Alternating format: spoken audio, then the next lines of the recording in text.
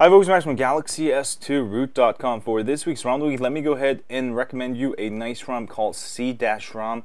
Uh, this I've covered before, I believe, and uh, the latest version is better than ever. Uh, previous versions were very feature-packed, um, you know, but uh, C-ROM just started making ROMs, but now the latest version is very, very stable. I really like it. Um, based on the latest Android 4.4.4, uh, this is actually a GTI 9100 ROM, so you can go ahead and install on GTI 9100. Um, I've got it installed on my AT&T Galaxy S2. Uh, if you install Shift kernel, you'll be able to use it with your AT&T Galaxy S2 also. Um, let me go ahead and show you some of the cool stuff with this ROM, starting with the camera. Um, you'll be using, uh, if you use the micro Google apps, um, which was which is the only thing actually you can use. You can't use the standard. Um, you'll get the regular standard AOSP camera, uh, which is nice, which works flawless out of the box, works quite well. Um, and photos work great. All right. And if you want additional cameras, you can go ahead and grab the Google camera off the Play Store after you install your ROM, uh, which works also flawless out of the box, which is very nice. Um, so you have uh, you'll have the ability to enjoy uh, both the AOSP camera, uh, the Google camera with photosphere panorama lens blur. Um, let's go ahead and go look at some of the stuff you can do. Uh, DSP manager, of course, you can use to tweak your sound, but I do recommend Viper for Android is like 100 times better. Um, if you go into settings, this is where you can personalize all of your um, features, customization options. Now, for those of you who know how to do this, you can probably skip this, but I'm going to go ahead and go over everything. For those of you who don't know, um, now here you'll be able to uh, mess with your interface here. Um, you can go ahead and add your favorite shortcuts here. Um, so let's go ahead and add screenshots, and also you can add screen recording. Whatever you add will show up on your power menu there, so you can easily take a screenshots, uh, record your screen, all that good stuff. Driving mode is interesting. Um, you can go ahead and use Google text-to-speech engine there. Uh, this will allow you to um, enable uh, speaking for incoming calls, messages, read out.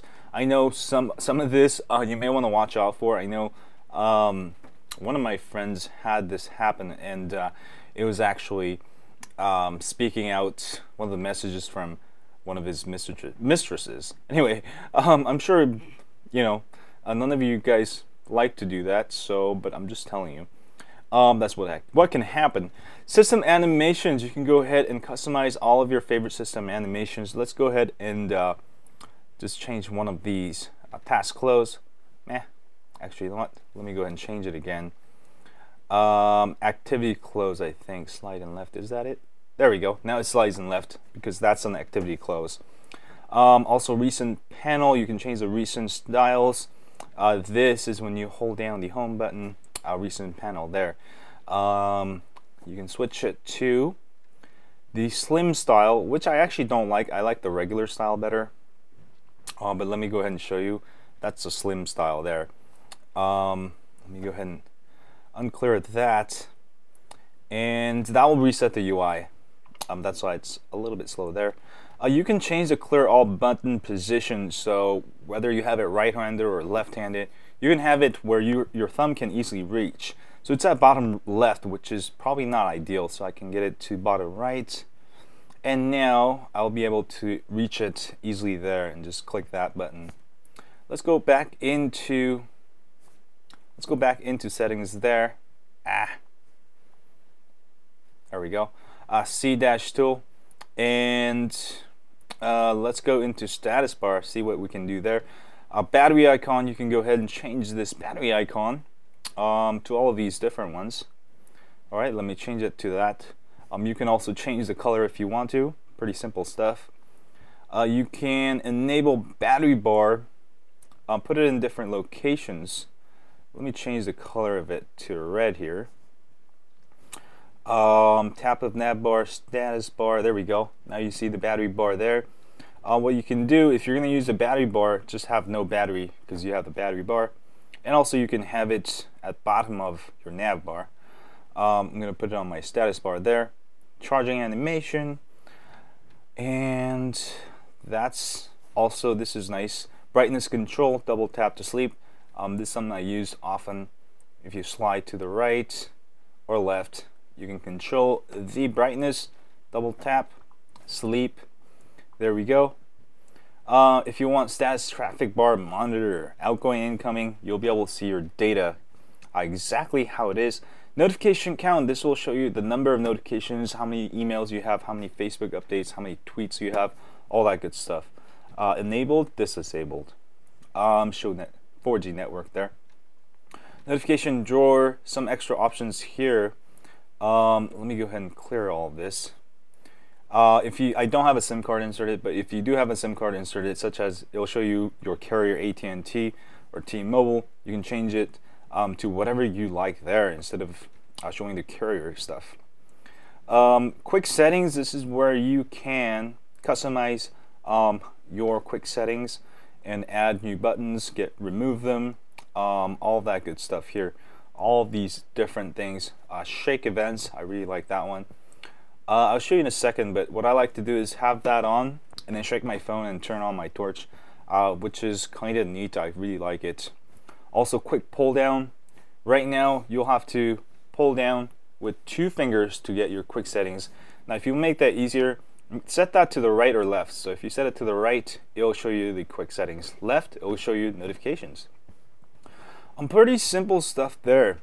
And also lock screen, um, battery around ring, battery status, um, screen rotation, allow you to uh, rotate your screen.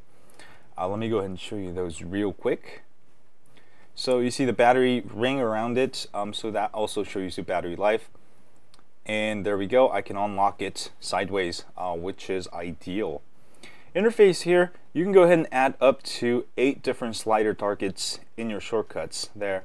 Let me go ahead and just add one here and add your favorite custom shortcuts. This is one of the things I like about AOSP in general um, because you can customize your lock screen. It is so much more advanced than any TouchWiz stuff. There we go. Very nice stuff. You can add up to eight. Slider torch, and this is very nice too. Another way to uh, enable torch. You can hold down that button there. Uh, buttons, there we go. Um, you can change what the buttons do in your lock screen. Uh, for example, if you hold down the home button, um, long press home, you can have it go to the flashlight also. So another way to add a shortcut. You can do something else with it. But there you go. There's another way to put torch on. And notifications.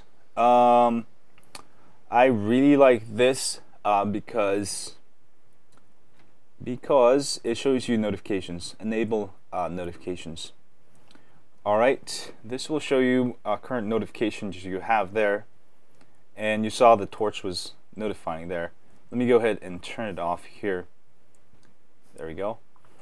And active display, this is similar to lock screen notifications. I don't use it much, but you can go ahead and mess with that. Widgets, options, um, navigation, um, you can go ahead and add soft buttons if you want and add a bunch of different buttons. That way you get a bunch of more stuff you can add here. Uh, very nice stuff.